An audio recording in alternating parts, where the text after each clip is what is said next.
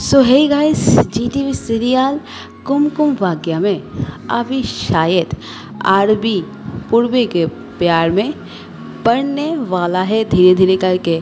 क्या है गाइस पूर्वी जो जेल में था, वो अरबी को पता नहीं था, क्योंकि अरबी किसी काम के वजह से आउट ऑफ़ स्टेशन था, और वही फैमिली वालों ने भी उनको ये कहकर परेशान नहीं किया है। जब वो घर के लिए लौटते हैं, तब उनको पता चलता है कि पूर्वी के बारे में और वही आर भी घर में ना जाकर सीधा जेल में पहुँच गए है पूर्वी को बचाने के लिए। जहाँ पर प्राची भी पूर्वी को बचाने के लिए तो बहुत ही कोशिश कर रहे होते हैं, लेकिन आरवी जो पूर्वी को बचाने के लिए जाते हैं जेल में। ये बात सिर्फ़ हरलिन को हजम नहीं होता है। हरलिन आरवी के ऊपर बहुत ही गुस्सा हो जाता है और हरलिन आरवी को बार बार ये याद दिलाता है कि ये खुशी की ही बहन है।